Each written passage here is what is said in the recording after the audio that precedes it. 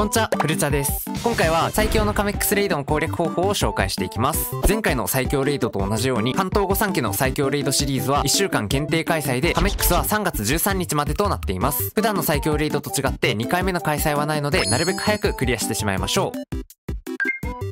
それでは早速攻略に必要なポケモンの紹介です。世間で攻略に適していると言われている2大ポケモンがエルレイドとテラパゴスです。この2体はエルレイドは最強エンペルトの時の使い回しができるし、テラパゴスについてはストーリー中にゲットしているはずなので、どちらもゲットが容易で、どっちをね対策ポケモンとして育成したらいいかなって迷ってる人もいると思うので、どちらの方がよりおすすめかだったり、どういう性質の違いがあるのかっていうのを紹介していきます。では2匹の性質の違いについて話していきます。エルレイドの方は比較的スピーディーに処理できる代わりに、ちょっと不安定な部分だったり、ヤッとする部分が時々あります。対してテラパゴスは安定してクリアできる代わりに、ちょっとスピード感ではエルレイドに劣る部分があります。あともう一つ注目する点は、育成の方がテラパゴスの方は物販で作れるんですが、エルレイドの方は素早さに少し振ることで、カメックスを1抜かすことができるので、その関係でちょっと微調整しないといけないっていうのがめんどくさいっていうのがあります。最強エンペルトの時はね、AD 物販とかをしていたと思うので、まあ、そっから再利用しようって思うと、ちょっと努力値下げの木の実を使わないといけないとか、その辺が若干めんどくさかったり、若干計算しないといけないっていうのがあるので、まあ、そのあたりがちょっとめんどくさいかなっていうところがあります。なので、どちらも一長一短ではあります。で、その上で僕の個人的なおすすめはエルレイドになります。まあ、理由としては、エルレイドの方はヒヤッとする部分があるっていう話はしたんですが、とはいえ、それでもね、負ける確率っていうのはかなり低い確率だったり、まあ、乱数を引かないと負けないと思うので、まあ、そこにケアしてスピードが下がるくらいだったら、その乱数を引いてしまったら運が悪かったと割り切って、エルレイドでサクサククリアした方がストレスフリーかなという風に感じましたなので今回はエルレイドの育成方法を紹介していきます。エルレイドの育成方法は、テラスタルが格闘タイプ、持ち物が貝殻の鈴、特性が夢特性の切れ味にするのを忘れないようにしましょう。で、努力値ぶりの方が攻撃にぶっ破して、素早さ64、あまり特防になります。で、性格の方が攻撃が上がって防御が下がる性格にしています。マジカルフレームと聖なる剣両方使うというところと、カメックスが物理技を使ってこないので、この性格になっています。で、技の方が今言ったマジカルフレームと聖なる剣、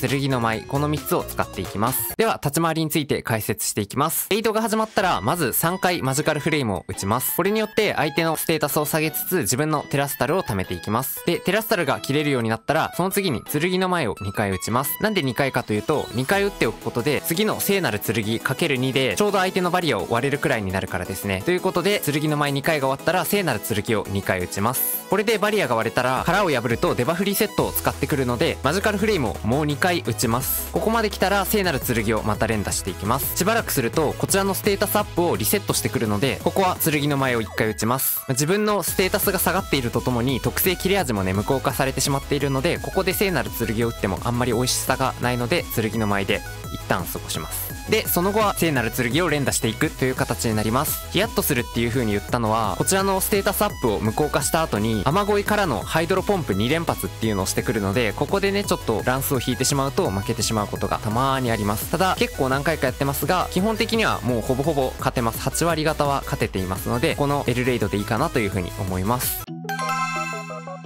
で、さっきエルレイドの方がおすすめだよとは言ったんですが、テラパゴスも安定してクリアできますので、一応紹介しておきます。テラパゴス持ち物は貝殻の鈴で、努力値振りが特攻と特防にぶっぱする形です。余りは HP とかでいいと思います。で、性格は控えめで、技がテラクラスター、瞑想、大地の力、この3つになります。で、テラクラスターについては PP が少ないので、ポイントアップで上げておきましょう。立ち回りについては、最初に瞑想を2回使って、その後大地の力を3回打って、こちらのテラスタルを貯める。で、テラスタルが貯まるようになったら、テラスタルしてテラクラスターを打つ。で、こちらのステータスをリセットされたら、もう一回瞑想を使いまくっていって、これ瞑想6積みまでしていいと思います。まあ、5回でいいっていうことを言っている人もいたんですが、テラクラスターのね、PP が足りなくなる時があったので、僕は瞑想6回打てばいいかなと思ってます。で、その後はまたテラクラスターを打っていくって感じです。で、テラクラスターの PP が切れてしまったら、大地の力打つようにしましょう。ステラタイプならね、最初の一発目の大地の力については、テラスの補正がかかる状態になりますし、相手の鋼タイプに対しては抜群で打っていくことことができるので、まあ、テラクラスターが切れてしまったら大地の力打っていきましょう。それではね今回もご視聴ありがとうございました。こういう動画が役に立ったという方はぜひとも登録高評価の方よろしくお願いします。他にもね ZA53 期を予想する動画だったり1分でわかる色違い厳選の動画なども上げていますのでぜひともそちらもチェックしてみてください。それではご視聴ありがとうございました。フルチャでした。バイバイ。